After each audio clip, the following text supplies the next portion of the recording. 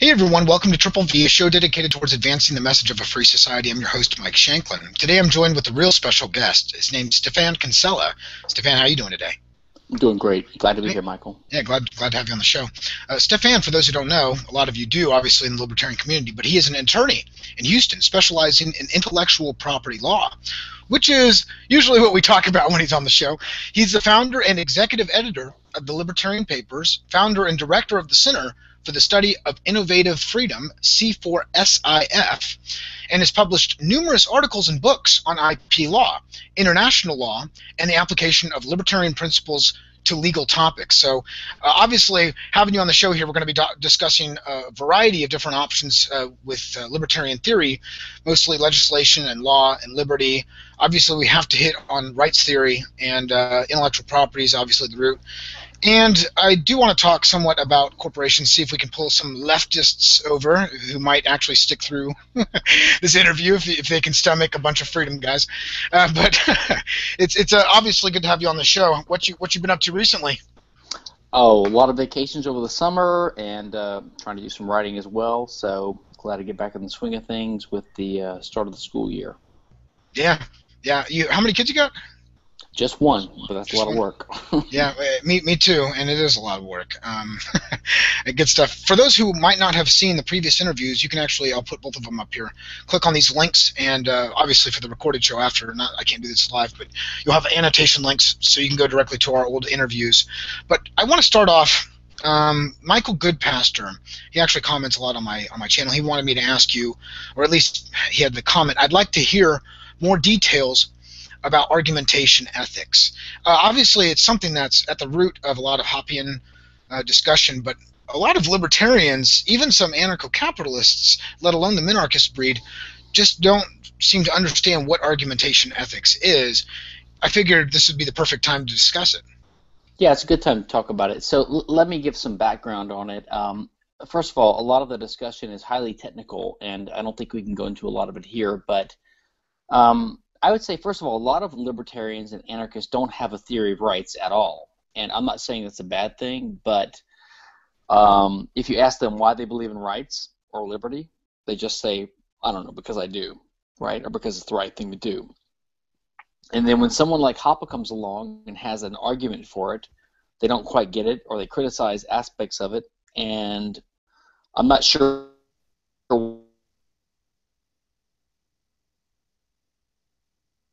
Are we there? I just got a phone call. Sorry. We're here? you're fine. Yeah, I'm here. Okay, sorry. So, um, so I would say people that criticize argumentation ethics because they don't understand it or because they disagree with it, if they have a better theory of rights, I'd like to hear it, right? So sometimes they have no theory of rights. Sometimes they're consequentialist or utilitarian. Sometimes they're natural law or natural rights uh, types. Um, Hans Hermann Hoppe basically says that here's how we can justify rights. Well, first of all, he recognizes problems with conventional justifications for rights, which is the uh, let me just point two problems with regular justifications for rights. One is the problem of what David Hume, the famous philosopher, calls attention to, which is the is ought gap or dichotomy, which is the idea that you cannot justify an ought or a norm or a moral proposition or view from a um, uh, from just factual statements. Because there's always a gap. Like when you go from from facts to norms you're always justifying um, uh, you're always introducing a norm okay so you're going from one realm of statements to another realm of statements. So there's always like a logical problem there. Um, and Hoppe relies upon that, that criticism. The other is in natural law arguments, they always rely upon a definition of rights that uh, assumes a certain human nature, but human nature is fairly vague and amorphous and diffuse. So Hoppe tries another approach, which is to rely upon the um, the something that everyone can't escape from based upon our human nature of being rational agents and trying to justify arguments based upon or justify propositions based upon arguments. So what he says is that if there are certain norms or values presupposed in making any argument whatsoever, then you could never contradict those in an attempt to justify a norm. So the entire libertarian project, in his view, is recognizing that the very activity of civilized discourse, that is, sitting down with another person to try to figure out what is it that we should do, what is it that is justified, okay, presupposes certain norms that you could never justify. So his basic argument is that socialism, which is the antithesis of libertarianism, always is a contradictory or self-contradictory argument because you're sitting down in an argument with other people trying to rationally justify something and you're sort of presupposing a civilized plane of discourse that we have a certain level playing field that I'm not going to attack you if you don't agree with me. I'm respecting your domain, your right to have a discussion with me. All that presupposes a certain sort of property rights in each other's body and resources that we need to carry on the argumentation. But if I'm trying to say that socialism is justified, it contradicts that presupposition. So what he's saying is that ultimately any argument in favor of socialism is self-contradictory, and I agree with his argument. Yeah, so do I. Uh, absolutely. I, I, I, have seen responses uh, such as Bob Murphy's, and um, yeah, I know. I, I think it Murphy's hitting on some edges here, and I think Murphy makes some good points.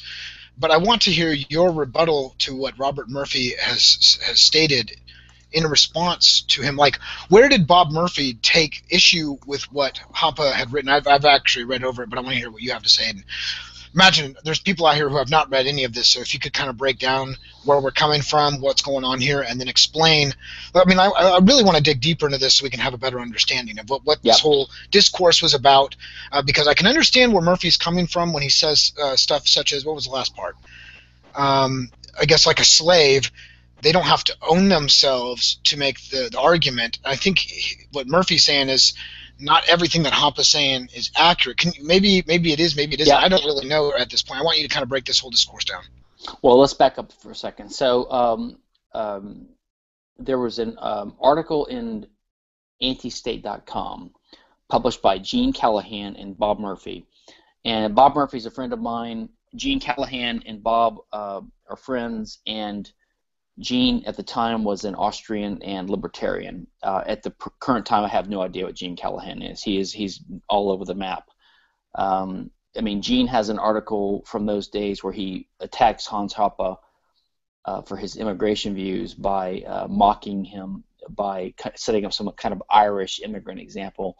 And lately, Gene is now taking that case himself. Um, I think Gene is no longer a libertarian I don't know if he's an Austrian or ever was an Austrian to be to be honest. Um, so you have to read that in light of that. Gene, um, Gene and Bob had an article uh, attacking Hoppe's views on on rights and his argumentation ethics. So my first question as a, as a libertarian is, well, do we have a libertarian, uh, you know, uh, criticizing us, or do we have someone else? At the time, it was two libertarians criticizing a fellow libertarian. And you know, first you would say, well, what is their theory of rights, and are they criticizing someone else for being defective in, in light of it? Uh, they never make clear what their theory is, and they don't really agree on a theory of rights, especially not anymore. Um, Bob is is now a Christian. Um, I have no idea what Bob's theory of rights is. I don't think he has a theory of rights. Uh, so basically, he just probably is like most libertarians, and he happens to favor certain values, like most human beings do peace, prosperity, people getting along with each other. Now, Bob Murphy is exceptionally intelligent and honest and consistent, so he sees that if you want to achieve these basic values, you need to have a free market. And he ultimately sees that you need to have ultimate freedom and property rights respected consistently, which rules out government. So, which is, to my mind, the, the ultimate case for libertarianism. If you value certain things, peace, prosperity, freedom, cooperation, um, and if you have some modicum of consistency and logic and economic literacy, then you're going to realize that libertarian principles are the only ones that could possibly be justified. And that is basically the Hoppian case, and that's why I think people like Bob Murphy and other people have who have no explicit argument for liberty are libertarians. It's well, essentially, wait, go ahead. Well, go ahead. I remember one time he made this analogy as to trying to put a libertarian origin of rights um, next to grabbing the ring of like what was it, Wardorf or whatever that, that little creature is. It's always in the in the what is it, the Hobbit or I don't really watch those those videos, but you know what I'm talking about, the ring and my precious and all that stuff. That's Gollum, what he tried. Gollum, yeah, Gollum, yeah. But he tried to compare uh, placing these axioms or these at least rooting rights into this attempt to try to you know grab onto this ring that nobody should have. Like nobody should have an origin of rights. It, that's the that's I guess the opinion that it came from for me when I read over the article.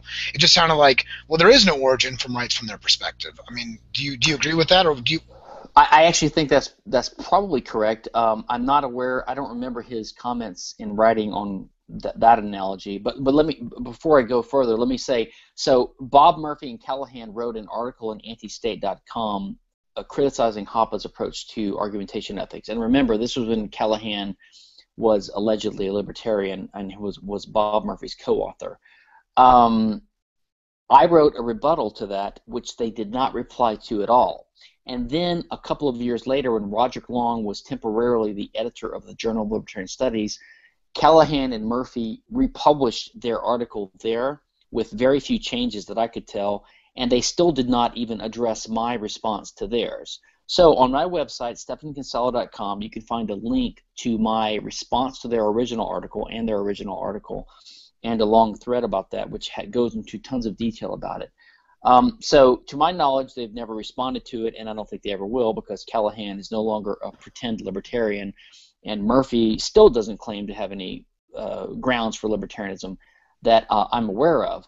Um, I mean, look, you can think of this in any number of ways. I mean, Kurt Gödel, the famous mathematician who argued that any system of logic or any self contained um, logical system is incomplete because it could never justify its own axioms, right, by its own principles.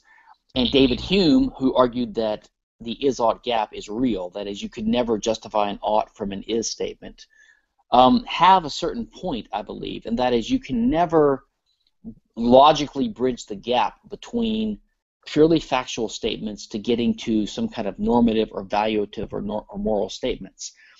I don't think that's a big problem. A lot of people think it's a problem, so they either ignore the problem or they try to sweep it under the rug or act like it's not a problem. Um, I don't think it's a problem because I think human beings in society do have values. Ayn Rand recognizes this, Mises recognizes this, that when you perform an action, you necessarily uh, have certain values. Um, Ayn Rand thought that when you live as a human being, when you choose to live instead of dying, you're demonstrating that you value life as a, as a human as opposed to not living. And that has certain normative or moral implications, and I don't agree I don't disagree with that. But that's compatible with Hoppe's view that there is a Humean is ought gap. Okay, but what Rand and what Mises would would say, I think, if you force them into it, is that there's a certain action you take, you choose to take because of your personal decision to adopt certain values that has certain moral implications. Okay, and so if you take that one step further, as Hoppe does, and you recognize what about the subsidiary or the specific action of argumentation, that is, engaging in civilized discussion or discourse with a fellow human being trying to figure out what is right or wrong, what we should do, what rules we should follow, or what we should have in society. When you have people engaging on that plane of discourse, they're necessarily agreeing upon certain basic rules of interaction, like we don't hit each other while we're talking, right? Things like that. And if you just take those basic rules, then you have to realize that you could never have an argument justifying the opposite. Now, what you were referring to earlier was Murphy and other critics of Hoppe's argument have pointed out that, well, you can have slavery. So, does that mean, does the existence of slavery, that is, a master having a discussion with his slave, does that prove that Hoppe's argumentation uh, his argument is wrong. And I would say it doesn't prove it at all because all it proves is that the master is being inconsistent, right? Um, argumentation ethics is about norms, that is prescription. So we have to justify and dis- we have to distinguish in our minds between prescription and description. That is between what we say people should do and what the way the world is. There's a distinction between the law of gravity and the law of of men, right? You cannot violate the law of gravity, but you can violate the law of right and wrong. You can choose because of free will to violate other people's rights. That if someone chooses to murder or rob someone, it doesn't prove that robbery or murder is wrong, um, is, is right. It only proves that it's a prescriptive thing, it's a normative thing, it's a rule that can be violated, but that should not be. Um, so the fact that you have a slave owner arguing with a slave does not prove that slavery is justified. Now, it is the case that in some, in some cases, you could find slavery is justified in a particular circumstance. So let's say, you know, you with your family are attacked by a band of marauders, and you kill most of them except for one or two, and you have to kidnap the others or or uh, or subdue them and tie them down until the authorities get there or until you figure out what to do with them. So for a temporary period of time, you are treating this person as a means. You're subduing their body, right? This um, invader, this aggressor. You're treating them like they're a slave and like you own their body. And in fact, I would argue under libertarian ethics that you do own their body, at least in that respect. In other words, you have the right to subdue them and to kidnap them and to jail them and to incapacitate them to protect yourself because they are the aggressor and you're defending yourself. Okay, so the very fact that you are uh, uh, using someone else's body as a means or using force against someone's body doesn't mean that you're being inconsistent. So let's say that I have a discussion with one of my um, one of my uh, uh attackers that I have now captive, and I want to discuss libertarian ethics with him. And I, uh, my argument is that everyone has the right to their bodies. Now, am I am I being inconsistent when I have that argument with them? Well, no, because Hoppe's argument is that you can only make an argument that is universalizable. That is, you have a good basis for making a distinction between people. If you and I, like right now in this discussion, if we were face to face, and if I am trying to argue that I have the right to enslave you, that is to pick up a knife and attack you if you don't listen to me, I have to have a reason for that assertion. If I don't have a reason for it, I'm not making an argument at all, and we're not really engaging in discourse. That's what's called a merely particularizable claim. If I want to make a claim that I can hope to persuade you or others to listen to, I have to come up with a reason for it. And the reason has to be grounded in something other than the mere claim, well, I'm Stephan Kinsella, you're Michael Shanklin, and I'm me, and you're not me, and therefore I have the right to be your master. Because you could say the same thing. You could say, well, I'm Michael Shanklin and you're Kinsella, and I have the right to be your master, and then we're just fighting again. If we're on a civilized discourse playing field and we're trying to come up with a you know a rational basis for our, our moral claims, you have to resort to objective reasons that could be potentially uh, listened to by anyone. Okay, and so that's the reason why all these claims have to be universalizable. So if I just for no reason say, well, I have the right to hit you, but you don't have the right to hit me because I'm me and you're you, that is not a reason at all. That's the failure to give a reason. It's the failure to enter into discourse. But if I have a reason, like I say, well, the reason I have the, the right to keep you as a prisoner is because you attacked my family in the woods and I was minding my own business, then I'm I'm I'm I'm I'm reverting to I'm uh, uh, I'm pointing to an objective difference between us. The objective difference is you committed aggression against me, and I didn't commit aggression against you. So it it is true in a sense that the the bare situation of a purported master having a discussion with a purported slave doesn't presuppose ownership rights of the slave in himself. What it presupposes is the prima facie rights of ownership of everyone. But it doesn't show that you can't come up with a reason. But what it means is that you have to have a reason. If you're going to treat someone as different than you, you have to have a reason. Okay? And the libertarian view, which we share, is that there is a good reason if the person being treated with force has committed force. And this is where my estoppel argument, which you know branches out from Hoppe's views, comes into play. If someone has committed force, has initiated the use of force, they really have no logical or uh, persuasive grounds to come up with a whining objection to force being used against them.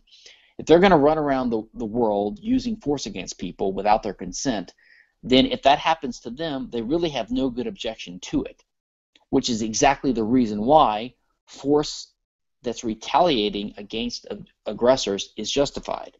It's justified because they have no good grounds to object to it. So all these ideas of Hoppe and sort of my estoppel approach, I think, mirror the libertarian intuition of uh, symmetry, right? The libertarian intuition is symmetrical because we always say, listen, we're not against force or violence, we're just against initiated force, which means that if someone initiates force against us, then retaliatory force, or at least defensive force, is justified. Almost no libertarian disagrees with that.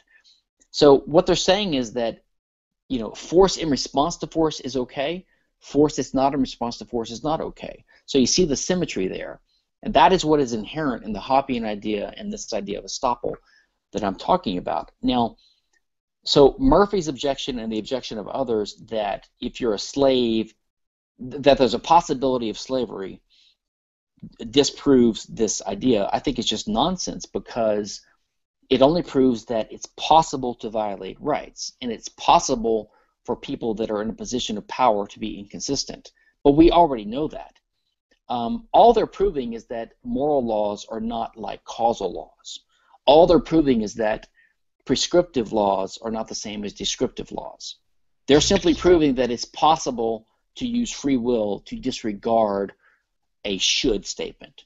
If someone tells you you shouldn't do this, it's possible to disregard that and to act in contravention to it. If someone tells you there's a law of gravity and, and they're correct, it's actually not possible to act in contravention to it. You can, but then you'll die. Right? Which is funny. So they're just showing there's a difference between causal laws and teleological or normative laws. But we already know that. We admit that. So basically, they're they're playing games. I think they're playing games because they don't have an argument for rights. Um, and I don't know. I think that they don't like other people coming up with arguments for rights because it highlights the fact that they don't have arguments for rights at all. And um, there's this sort of uh, uh, dislike for people that come up with hardcore. I mean, look, Nozick and others were like this with regard to people like Rothbard. Rothbard had a hardcore, solid natural rights foundation for his arguments.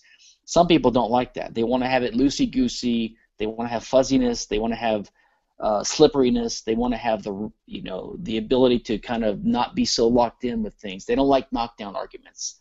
They don't like being hemmed in. Um, well, being a libertarian, to my mind, is taking a stand in favor of human liberty, human self-ownership, and the right to homestead. And if you don't like that, don't be a libertarian. good stuff, man. Um, that's really good. It's kind of ironic too, at least maybe hypocritical, I should say, for their position of saying that slavery, you know, kind of debunks what Hoppe was saying, or if anything, the inconsistencies only prove argumentation ethics, right? So the the inconsistencies of the statist or the infringer actually proves that argumentation ethics is right because if you argue in favor of those principles, it shows that they are inconsistent even in action, let alone thought. So I don't know. That's just my two cents on no, that. No, I, I agree with you. I mean, look, you could imagine two situations. You have one situation where the where the slave owner is one like in the in early America, you know, uh, 200 years ago. So you have a totally unjust situation, and the slave owner is trying to justify his ownership of this African American uh, African slave. Well, I think we would all agree that he can't come up with an argument that really justifies it. His only argument is that, well, you're a black from Africa and I'm a white from America, which we would agree is an inessential distinction, right? It doesn't justify treating him like a means. You're still rational humans, and he has. A, if you have rights because of your human your human um, uh, characteristics, then so does he, because he has the same characteristics as you, except for his skin color. But your argument for your own rights doesn't depend upon your skin color. How could it? It's a, it's a ridiculous argument. So he would be inconsistent in arguing for his right to be your master. However, if, like in the example I gave, if you are have captured someone who's attached you, so he's temporarily your slave. I mean, he's your your captive, literally. Or let's take a starker example. You know, you're going to actually kill someone who's attacking you in self-defense. You're going to kill him in self-defense.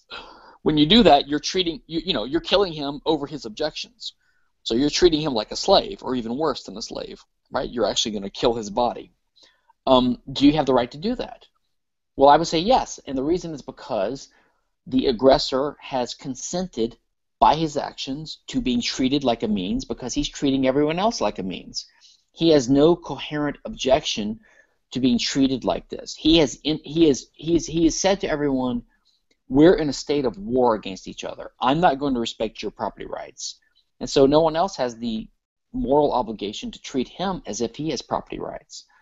Uh, by contrast, among civilized people who live among each other in peace and harmony, and who are trying to find civilized solutions to living with each other, who are trying to find rules that can let us live with each other and, and achieve peace and prosperity and harmony, um, then uh, just a modicum of economic literacy and a little bit of logical consistency will lead you to conclude that we should live and let live.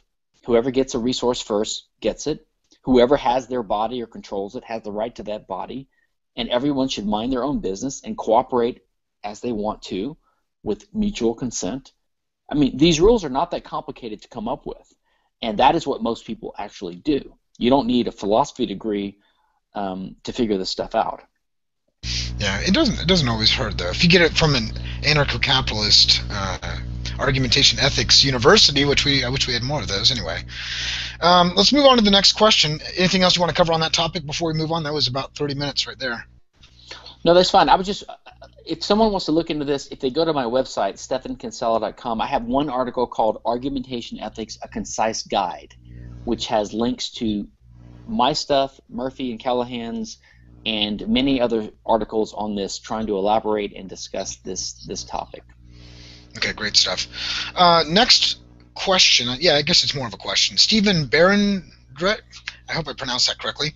Uh, he says, ask Stephan, Stephan if more about what he considers to be an appropriate act of homesteading and what isn't an appropriate act of homesteading. Also, this issue is a bit old, but I'd like to hear uh, Kinsella's thoughts about granting easements to people in landlocked property in more detail. So let's start off with the homesteading. Uh, can you explain exactly how the libertarian views homesteading, how homesteading works, and what makes yeah. property yours? It's actually a very good question. Um, and the reason it's a good question is because he's getting at something that libertarians sort of in the background think has been figured out, but really has been fuzzy all these years. And this is how political theory works, or philosophical developments work.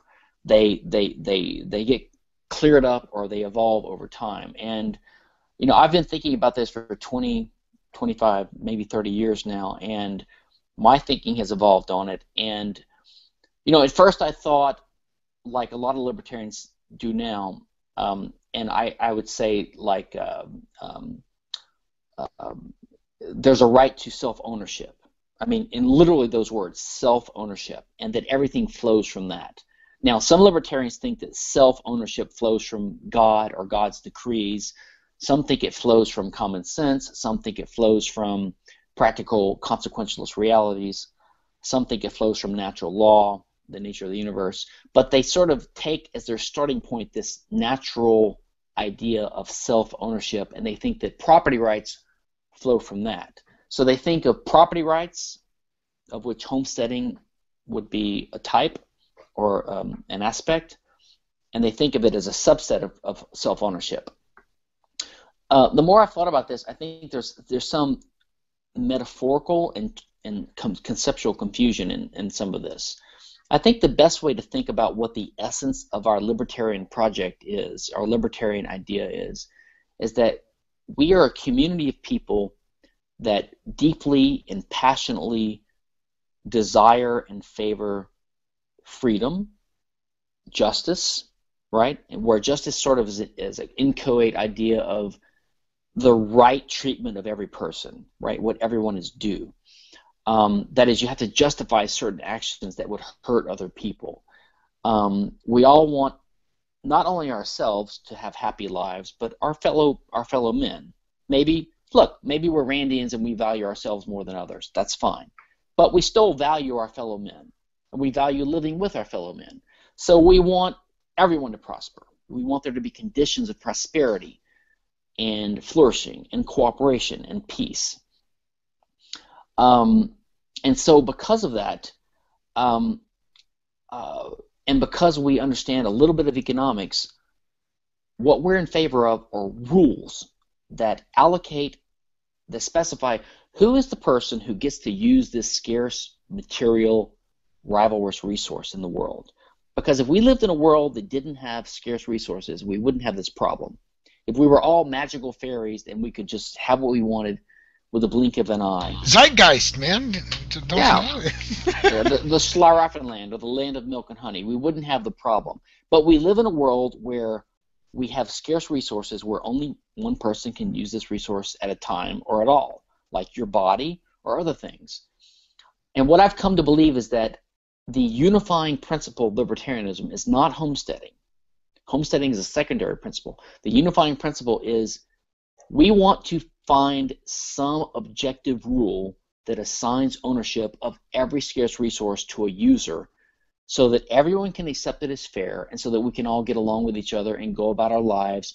And we can have our own lives as individuals but we can also cooperate with each other and avoid violating each other's property rights. And that rule for libertarians is that we have to find some objective link between the person claiming the right to use the resource exclusively and the resource. And the libertarian view is that there are two specific cases to be looked at. One is for human bodies, and one is for everything else. That is, things that the human body or the human acting through a body uses. So the homesteading principle applies to those second things.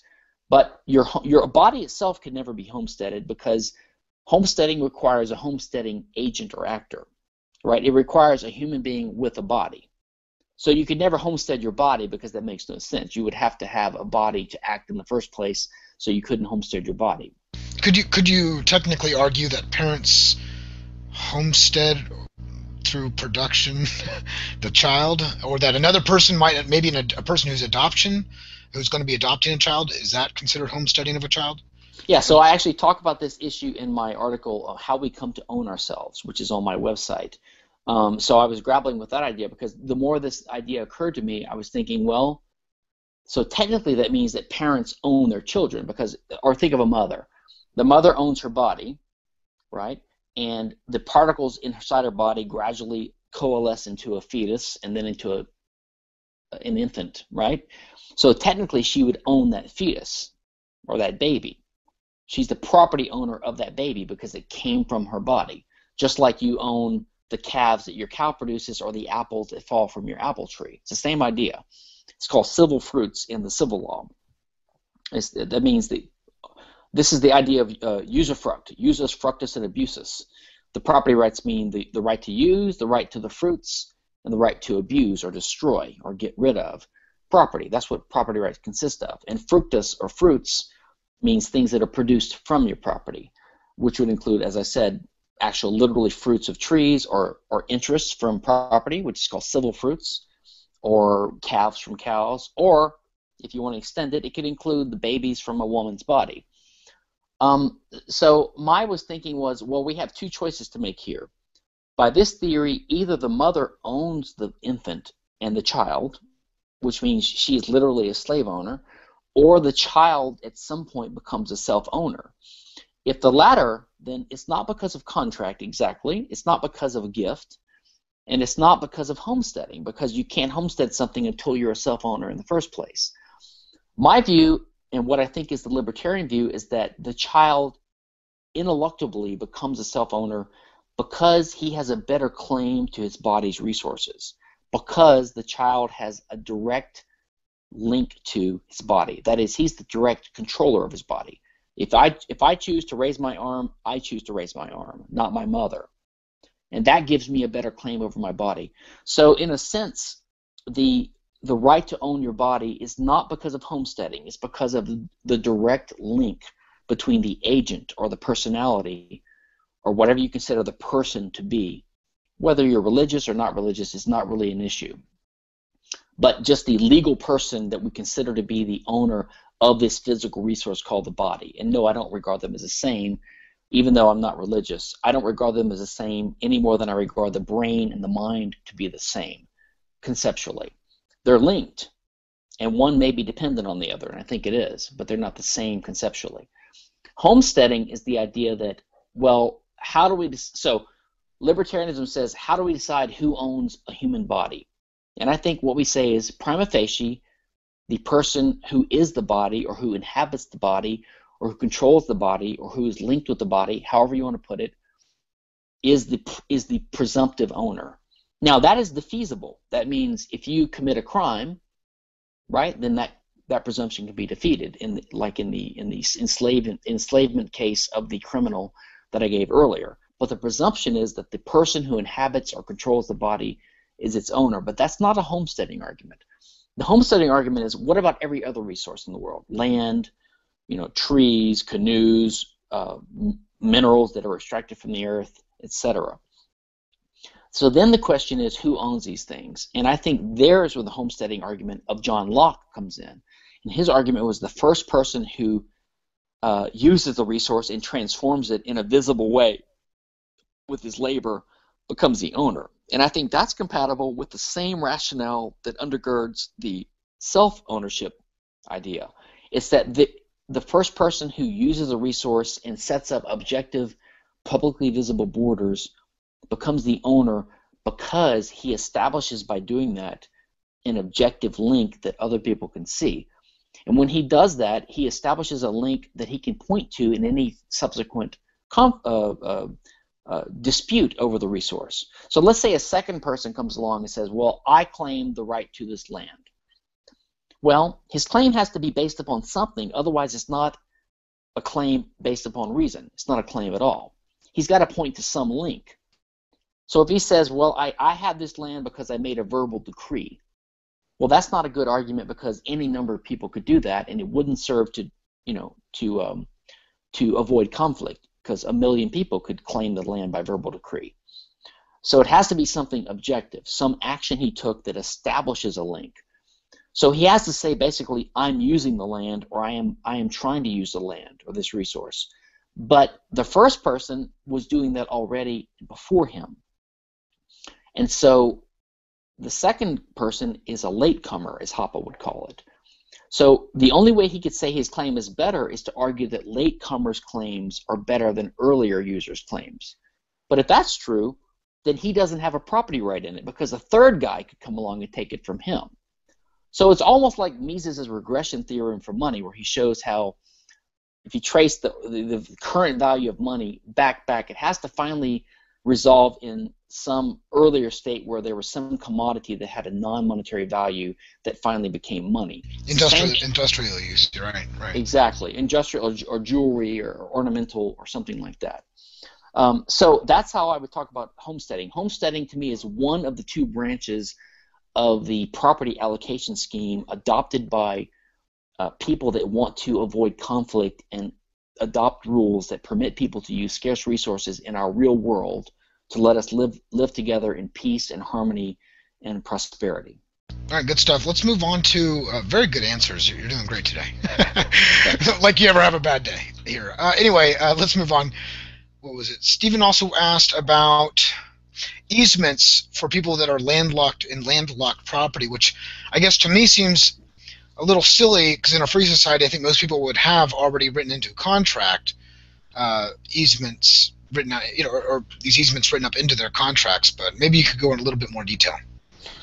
Yeah. Um, so, and I've actually written on this before, and um, I can send you a link, and maybe you can put it in the show notes for this show. Um, I've had some uh, sort of interchange with Roderick Long and other people about this.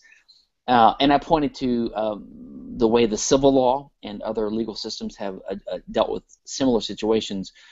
First of all, I don't think there's anything really special about land, which is one reason I object to the Georgist, crankish claims of um, single-use tax and all this kind of stuff.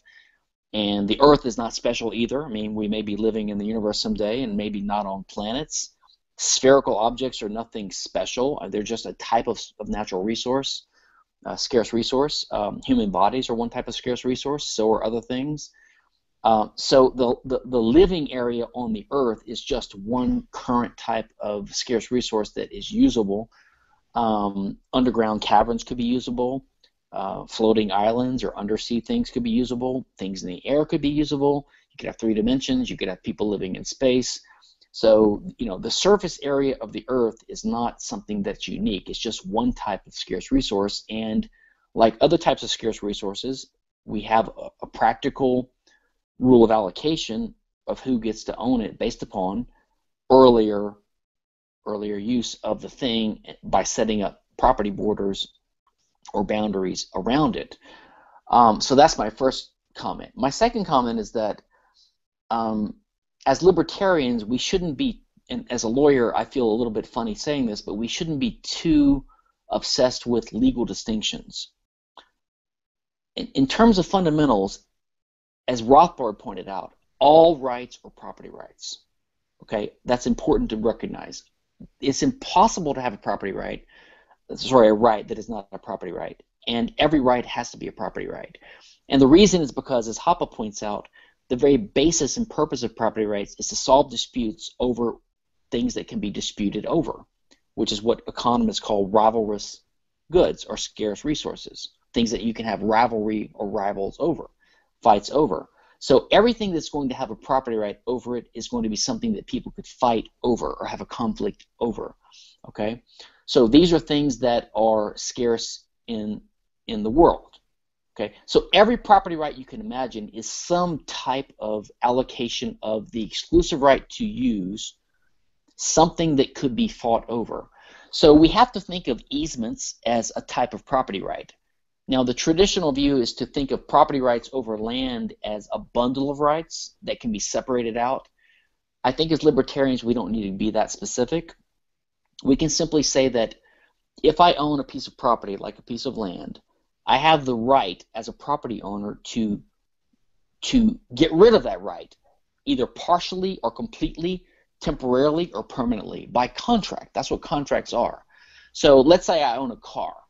I can abandon the car. That means I get rid of my ownership of the car. I could destroy the car if I wanted to, or I could give the car to you, let's say as a gift, in which case I'm transferring ownership to it, or I could sell it to you, in which case I'm transferring ownership to you in exchange for you giving me some of your gold or your money, right?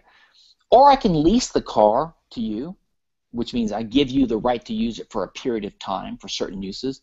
Or I could loan it to you as a friend for free, again for a limited time. So there's these different things you can do with property. So an easement is just a type of, it's like a loan so, like, let's say I have a piece of land, and you have you're a neighbor of mine, and I'm getting to the circle thing. Uh, um, so let's say you need to get to a road that's on one side of my land, and you instead of driving a far distance around all, all of our land and neighbors, you want to cut across a corner of my land on a regular basis. Well, you might approach me and say, "Listen, I'd like to drive across your land on a regular basis. Um, would you let me do that?" Well, I might I might give you that right uh, to be a neighbor, maybe in exchange for something else, or just to be friendly, or maybe I'll sell it to you.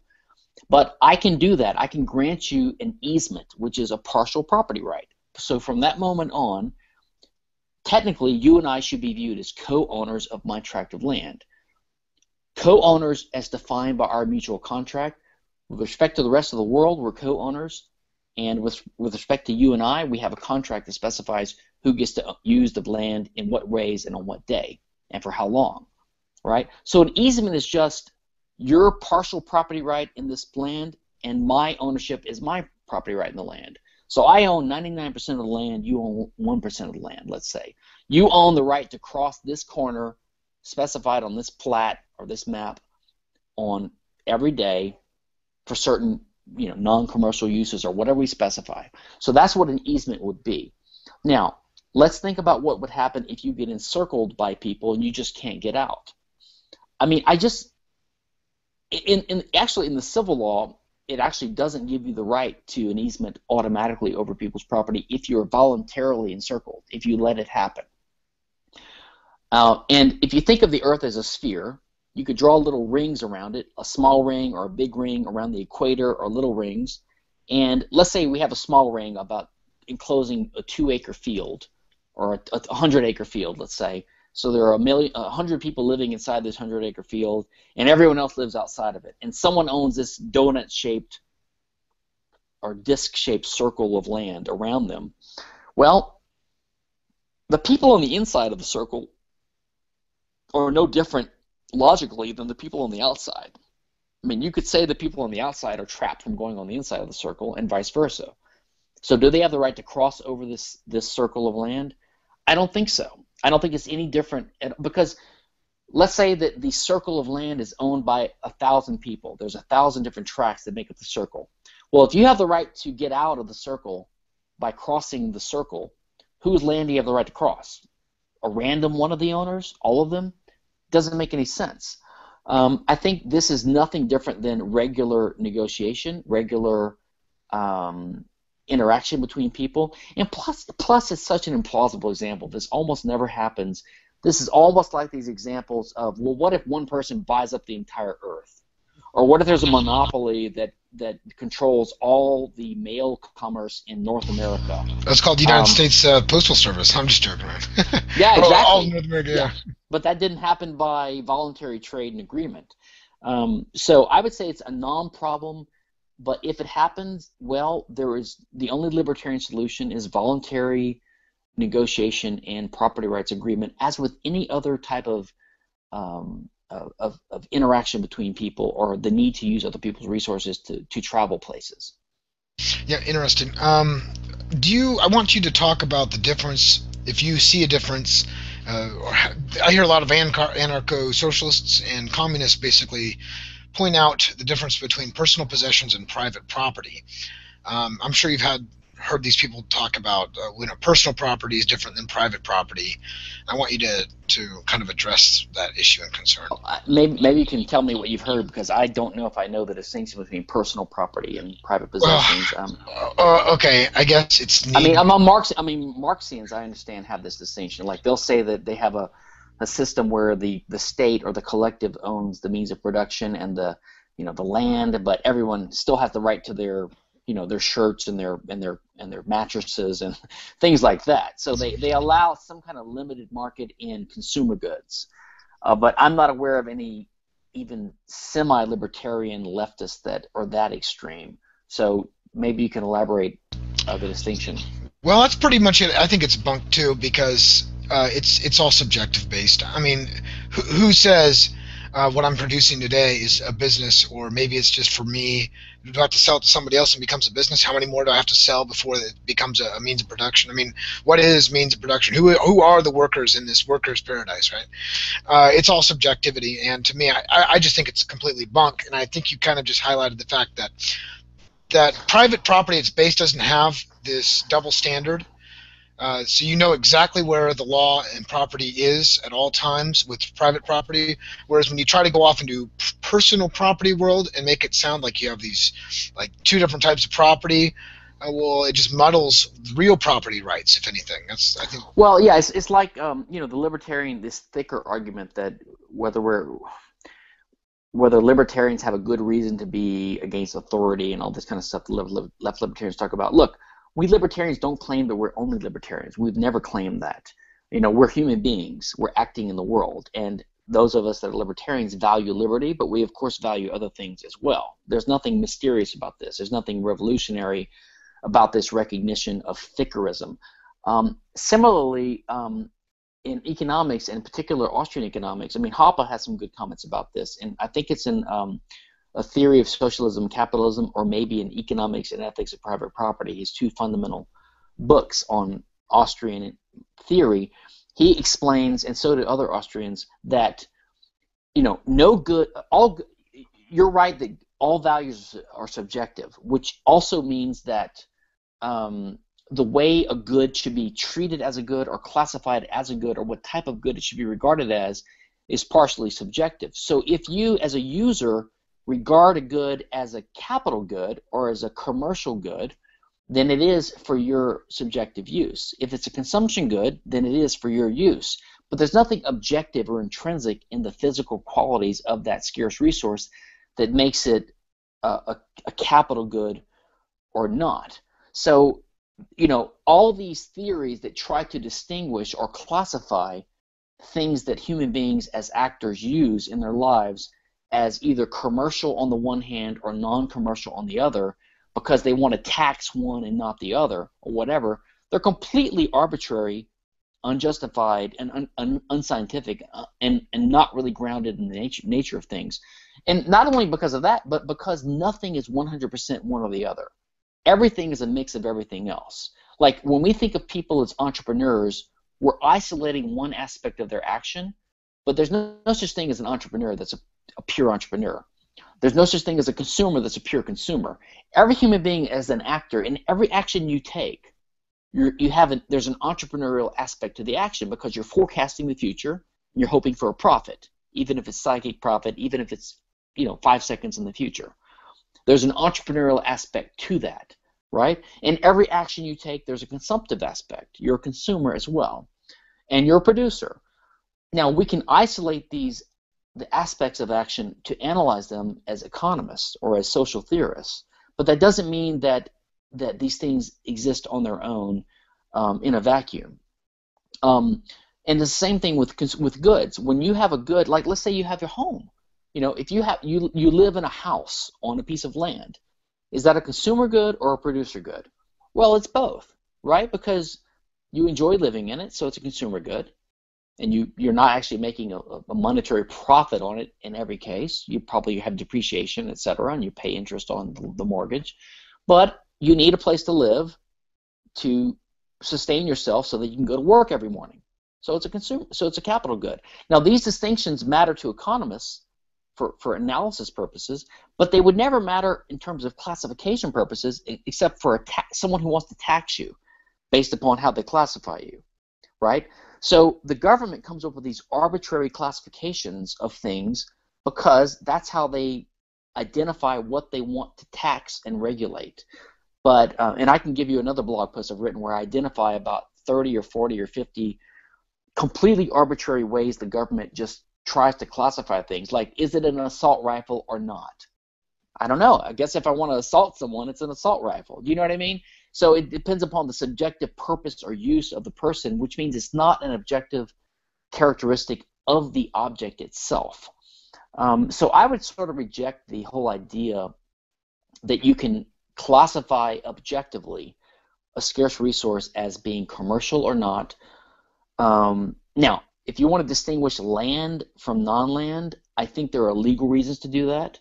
Um, in the civil law, it's called immovable versus movable or in the in the in the common law, it's called real property versus uh, personal property. But that's just a convenient way of treating things that have different characteristics for human action in the law. It doesn't mean that they should be treated differently uh, on a fairness basis any more than you know a, a, woman or a black person should be treated differently under the law than a male or a white person. Um, property should be equal under the law in a sense, just like people should be equal under the law. Yeah, all right. Osiris Redeemed, it's a person's uh, screen name on Facebook. They stated property, as I understand it, is granted to the owner when said owner employs her own, his or her own resources to obtain it, without the use of force, of course. How does this apply to intellectual property? I think, accordingly, uh, the above definition that Intellectual property is therefore property, except that it is usually non tangible. But I believe something is usually overlooked when defining property in general, and that is the will of the owner. So, for example, if I create a piece of music uh, owning uh, using my own resources, I ought to have the right to specify when going into a consumer producer contract the conditions by which said consumer goes about using the potential property before a transaction of resource occurs between consumer and producer. What's your opinion?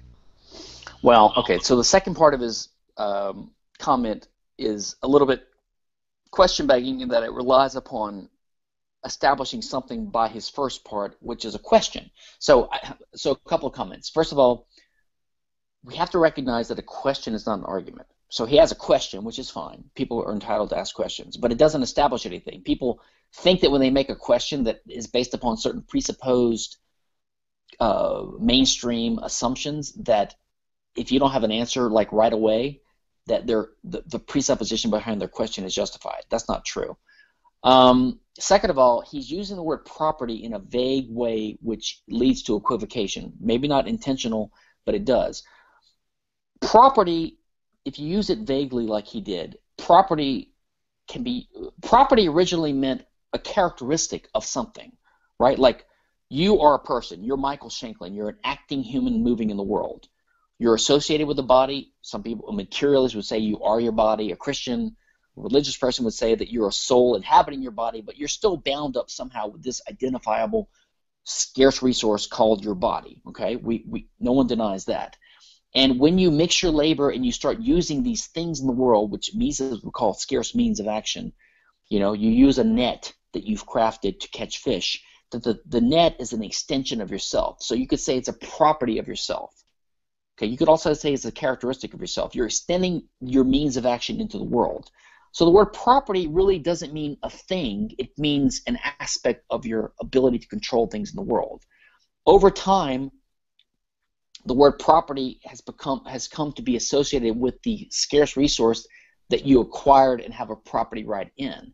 If you want to be precise and be careful and not be confused by the way these um, concepts are used, it'd be better to say, listen, here's me on my body. I have property rights in my body, and I also have property rights in, or I have ownership of, certain scarce resources, things that can be disputed over, like the net. Okay, so the only time the question comes up, who owns that thing, is when the thing is a scarce resource that people can fight over. So when we identify the owner of a thing or property rights in a thing, we're always simply answering a question, theoretically between two or more people disputing a thing. We're answering the question, who between A and B has the better claim to this scarce resource? You would never ask that question over an idea, for example, because they don't need each other's permission to use it. They can both use the same idea at the same time. The idea or the information or the knowledge is not the type of thing that's a scarce resource. It's not the type of thing that can be fought over it's not the type of thing that's a scarce or rivalrous resource in the first place. It's not the type of thing that we even have a dispute over in the first place over who owns it because we don't need to assign it an exclusive owner to it because its use is not exclusive because it's not a scarce thing. So what happens is you have people jumping from the original insight, the human intuitive insight that if we want to live together in peace and prosperity and cooperation, when, when we find things that only one person can use, the only way that thing can be used productively is by one person. So we have to find out who has the better claim to use it. That's it, right? But what happens is we start using the word property to refer to that thing. And then we start thinking, well, the reason he has a better property right in that property or that thing is because he was the first one to use it. And then over time, as the capitalist economy advances, we start seeing more and more people make their their resources that they own more valuable because of they they they use their labor to transform them into more valuable things. Like you know the Ford factory where they're turning metal and plastic and rubber into cars right? They're turning these things that are worth one thing into another rearrangement that's worth that's worth far more. So we start thinking of production as the basis of wealth which it is.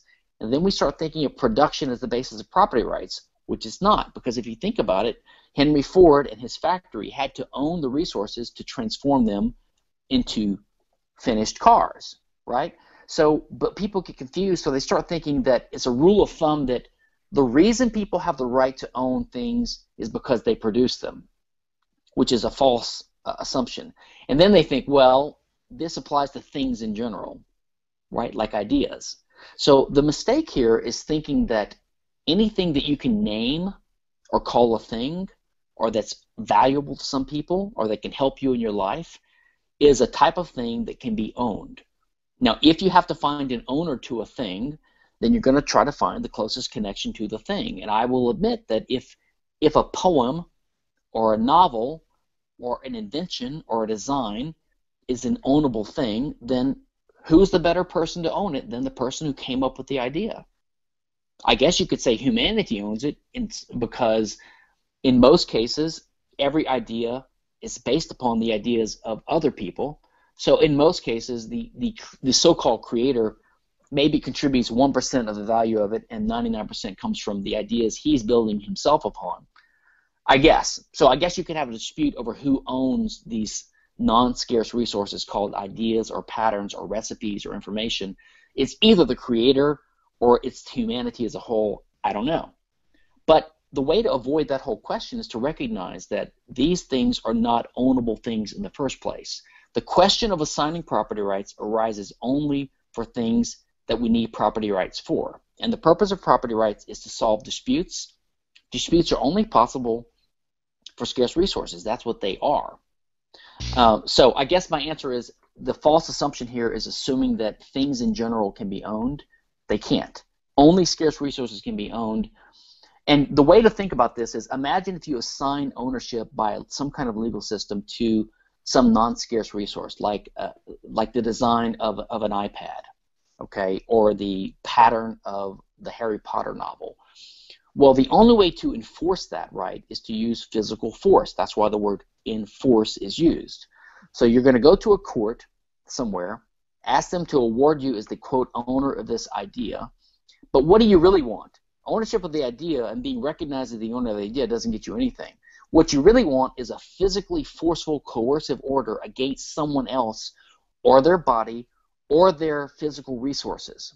So, for example, if you sue someone for copyright infringement, what you really want is the government to come in and take a million dollars of their money from them and give it to you, right? Or you want the government to coerce them to not use their body in certain ways or to not use their printing press in certain ways. So you're basically making an ownership claim against their material resources, their money, their body, their printing press, their capital equipment. So that shows that all disputes are always necessarily against physical resources. They always involve an implicit claim of physical material force. So these people that claim that materiality or physicality or scarceness is not a requirement for property rights, well, they should stop using physical force and stop trying to get other people's physical resources. You know, if someone wants to come against me for violating their copyrights, and they just they just get a judgment from a court saying we hereby declare that you're a bad guy in the realm of, of the ghostly realm of intellectual ideas hey have at it. I don't care. You can go around and criticize me all you want. Because that's really all it would be criticism and you're free to criticize people in a free market but they don't want that they want to use physical force usually of the state against people's already owned resources which shows that the only property rights that can ever exist is in material resources very interesting. Um, I have somebody who believes that even intellectual property is proper is, is supposed to be like the real property. So um, maybe I could get you guys. I don't know if you know Chris LaRue. I'm sure you know Chris. Uh, I don't remember his name, but that sounds like a um, a, a, a comment of um, that that like uh, uh, uh, Galambos would make. Galambos was this interesting character in the 70s, a California guy, and he thought that, and like Ayn Rand, by the way, they sort of believe that intellectual property is the basis of all property rights. Um, and I think this is about as bass backwards of a view as you can have. Uh, at least most modern advocates of IP recognize that it's sort of a, uh, a deviation from property rights, but it's one we have to have to accomplish certain goals. You know, some kind of incentive system or something like that, a social tool. Um, but they recognize that it's sort of an exception from regular property rights, but we have to have it. Uh, but these guys put it at the forefront of property rights, and I think their entire conception of the purpose and nature of property rights is completely misconceived and confused. It has to be based upon the existence of scarcity and the possibility of conflict. And the very purpose and heart and nature of property rights is to solve these disputes, to let us get along with each other in a world of scarce resources. Um, and when you try to apply it to non scarce resources, you end up undercutting rights in scarce resources, just like when you grant positive rights or positive welfare rights, you you you undercut and undermine people's natural negative rights. Just like when you inflate the money supply, you reduce the value of existing money. Um, these are all the same type of phenomena. No, great, great answer. Uh, Rob Duffy wants me to ask you, who do you admire? Well, I admire people that mind their own business and have a job, people that find a way to make it in this difficult world. Um, I admire pretty much all libertarians, even the ones I disagree with. Um, I admire everyone searching for an answer. Um, among libertarians, I admire uh, most strongly the radicals, you know, the Austro-anarchists. Uh, I admire the activists, even though I'm kind of skeptical of activism. So I guess I admire anyone who's willing to respect others' rights and willing to seek the truth and trying to find an answer in this difficult world. No, great, great answer. Uh, Sakirajic, I'm so sorry if I mispronounced that's a hard one. Uh, he says, money aside, if you were starting back out today, would you go into law? That's a difficult one. Um, probably. Um, probably. I might go into a different field of law. Um, I might go into um, something I think is more fun and more suitable and more productive than intellectual property law. Um, maybe um, oil and gas law, or maybe uh, international arbitration, which I've done some of and I enjoy. Um, but yeah, I'm not. I, I, don't regret having gone into law. Um, you know, trading, trading is, is a field that's very lucrative. I mean, look, I'm not against making money, and I think that doing something highly specialized that in the real world that makes a lot of money uh, is a good thing. So um, yeah, I, I, I'm I'm glad I did it. I don't oppose it at all, uh, and I'm glad I didn't uh, join the dark side on too many um, things. I'm going to switch over. My phone's bugging out, so I'm going to. I mean, running out of juice, so I'm plugging in here. Sorry. Oh, um, so yeah, I um, I think law's not a bad. Now I think law is a worse field now than it was when I started 20 20 plus years ago. It's um, just because of the economy and because of the, of the uh, surfeit of lawyers. Um, so I'm not saying I recommend it. I have some posts on my website, uh, recommendations or something like um, no, it's like uh, advice for anarcho-capitalists looking to go to law school or something like that. I can send you a link to that too, Michael. Um, where I and some of my friends who are lawyers have cobbled together some advice to people because I get this question all the time: Should I go to law school? And if I do, what should I major in? Um, my advice is go to law school if you can afford it and if you think you can be near the top of your class and if you think you'll like it. Don't do it just for money unless you're extremely smart and have a goal and plan in mind. Um, and don't do it for libertarian reasons. If it if it complements your libertarian avocation later, fine. If it doesn't, fine. Get a career that makes a lot of money. I would say avoid something that's highly immoral, like you know being a, a plaintiff's lawyer in, in, in IP or antitrust cases, or tax, being a, a lawyer for the IRS, for example, but being a, a, defense attorney for, for victims of the drug war or victims of the tax war, uh, nothing wrong with that. Uh, or being a, a, corporate tax attorney, nothing wrong with that. Um, you know, being a, you know, a commercial lawyer, even being an IP lawyer, although it's tricky because you have to avoid the the evil side. Um, uh, and you might not enjoy it once you realize how pointless this whole legal uh, field should be. Just like tax law, right? I mean, or drug law. You know, if you're defending someone for a drug crime, you're doing something good, but your job shouldn't exist, ideally, right? But I don't think that you should feel guilty if you're defending someone for a cocaine prosecution, um, even though in a free world your job wouldn't exist. Um, so yeah, I don't think it's a bad career uh, if you're mentally suited for it. Yeah, great answer. Um, I've had a couple people ask me this about um, the Property and Freedom Society meeting. A, a, guy named Jared Taylor was there, and people I think are, are trying to say like this guy's somewhat racist. Um, I, I, I don't know too much about Jared Taylor, yeah. but I know the Southern. You know you know what's going on here.